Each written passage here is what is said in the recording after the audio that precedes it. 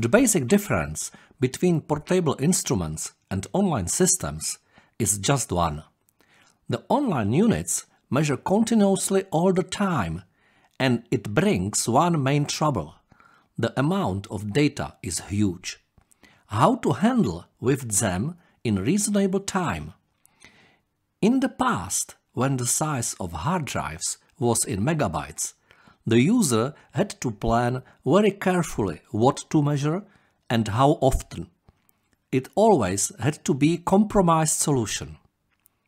Hard drive size seems endless nowadays, and processor speed seems endless too, but it is not true. We also need to plan carefully what to measure and how often even these days. The limits still exist. Let's suppose one measurement point. Unthinking user, who does not consider consequences, set the spectrum with 25,000 lines and time waveform with 32,000 samples. Each line and each sample needs 4 bytes on drive. It means more than 100 kilobytes for each spectrum and time signal and now multiply because user wants to measure each second and needs to measure 16 machines with 5 points on each machine. He needs almost 2 terabytes for one day. Another problem is that such user wants to run these systems on a small laptop usually. I am worried that people would like to run such systems on smartphones in the future.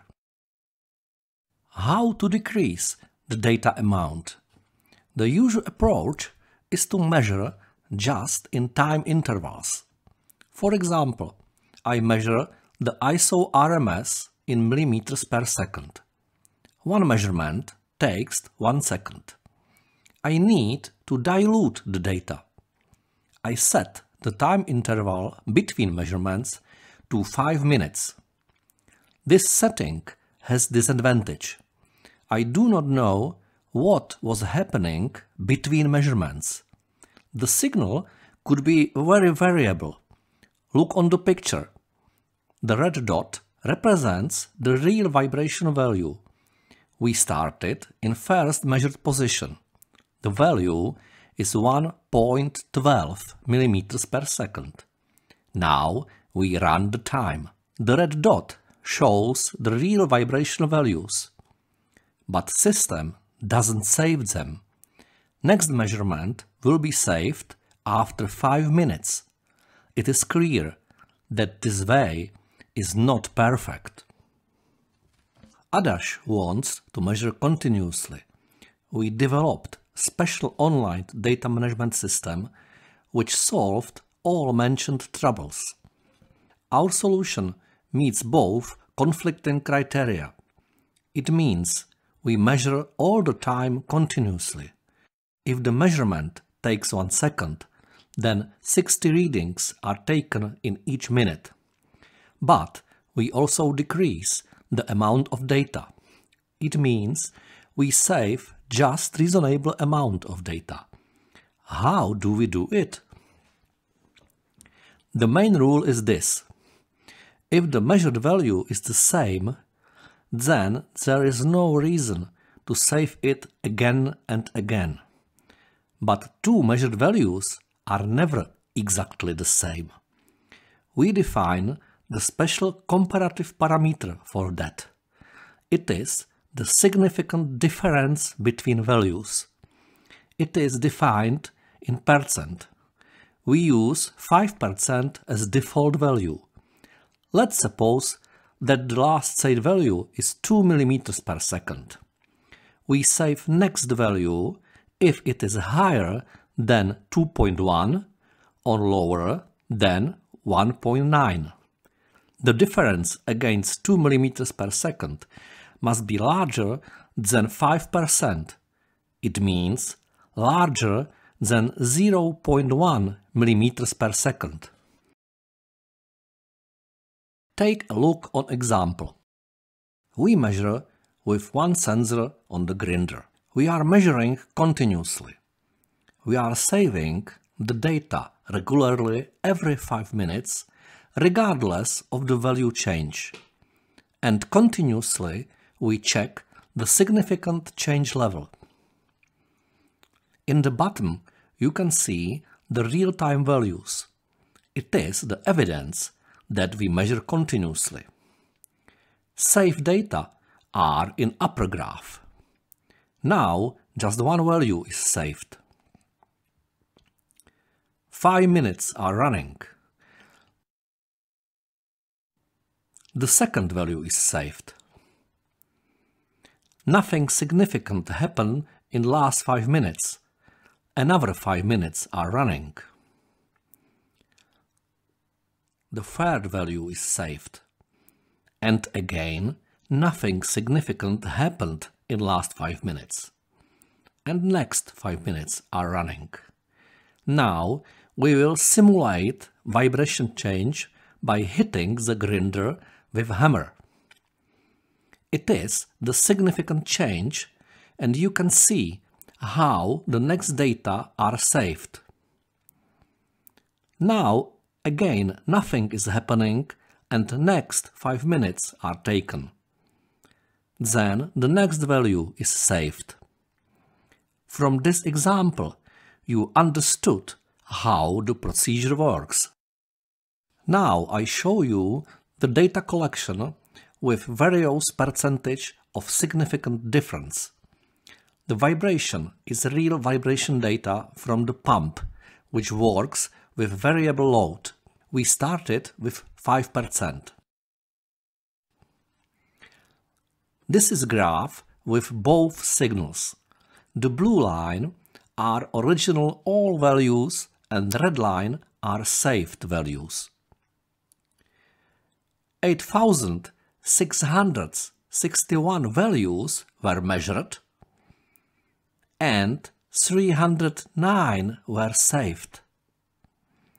Do you see that something is missing in red graph which contains just 3.5% of original amount of data? I do not. Now let's go with 10% of significant difference.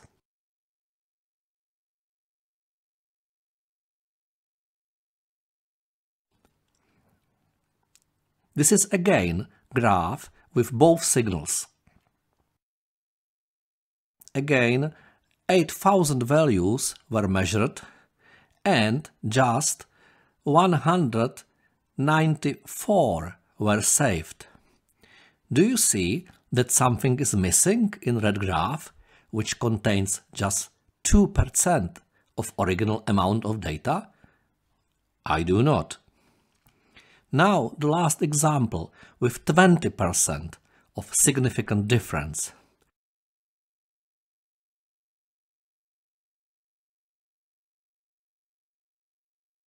This is again graph with both signals. Again 8000 values were measured and just 116 were saved. It is just 1.5%. I think even 20% example contains all necessary data, which is sufficient for evaluation.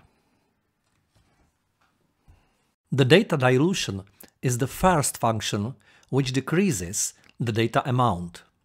As the second function, we developed our own Adash compression method. Our data size is just 25% of the original size.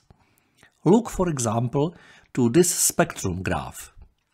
The upper graph is uncompressed and the bottom spectrum is compressed. Do you see any difference? I do not. The important part of Adash Online Systems is DDS software. All settings are made in this software. The tree contains the structure of machines, measurement points and types of measurement like overall, spectrum, time waveform and next. The DDS also displays measured data. and from the DDS we run and stop the online system.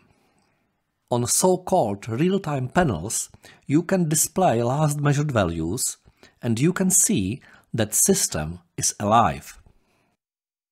Advanced user can change above mentioned default data saving configuration setting. There is a short text file which contains parameters used for system control, but the default settings should satisfy all standard online measurement requirements. Many users are afraid of online systems. They suppose that it is much more complex than the using of portable units. It is not true. With ADASH system, it is the same level. In ADASH, the portable and online systems work with just one DDS software. You can simply share data from both systems. And the ADASH adaptive system enables to have small databases and very quick data processing at once. Do you want any references? Our ADASH systems are installed in all Czech nuclear power stations, even in primary circuit in a high temperature environment. Thanks you for watching.